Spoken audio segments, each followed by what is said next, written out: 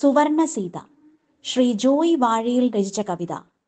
അശ്വമേധയാഗം യഥാവിധി പൂർത്തിയാക്കുവാൻ കാഞ്ചനസീതയെ യാഗശാലയിൽ ബഹുമാനപൂർവം ഉപവിഷ്ടയാക്കുകയും യഥാർത്ഥ സീതയെ കാട്ടിൽ കഴിയാൻ നിർബന്ധിതയാക്കുകയും ചെയ്യുന്ന ധാർമ്മിക നിയമത്തെയും ജനസദാചാരത്തെയും നിരൂപണം ചെയ്യുന്ന കവിതയാണ് സുവർണസീത. കവിത ചൊല്ലുന്നത് ഡോക്ടർ ലക്ഷ്മിദാസ്.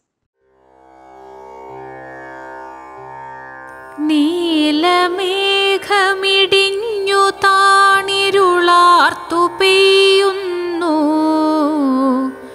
നീൾമിഴി കഥനാശ്രു വീണൊരു കാടു പൊള്ളുന്നു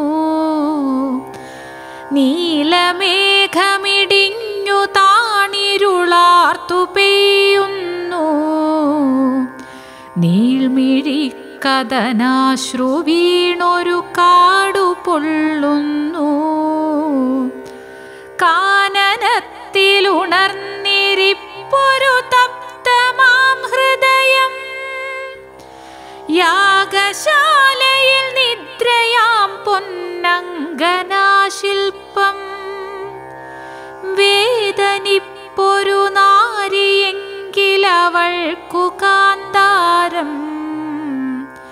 ജീവനറ്റൊരു പാവയെങ്കിൽ അതിന്നു കൊട്ടാരം.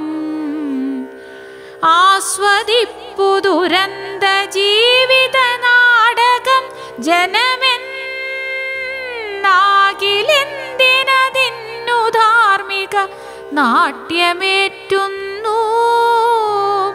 ജീവനുള്ളൊരു രാജ്ഞിയെങ്കിൽ അനേകമേഷണികൾ ജീവനറ്റൊരു പാവയെങ്കിലതിന്നു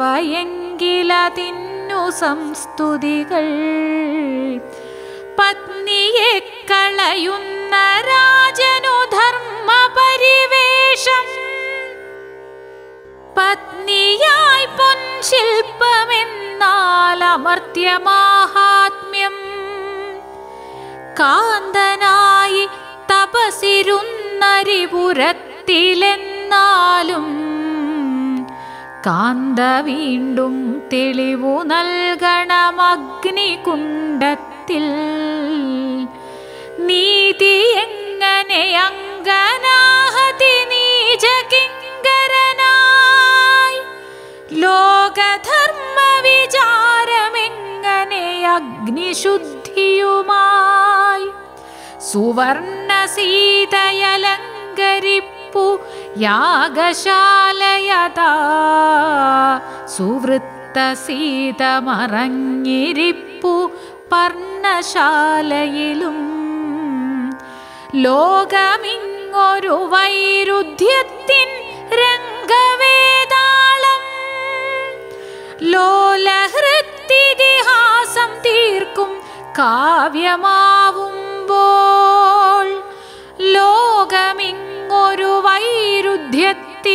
रङ्गवेदा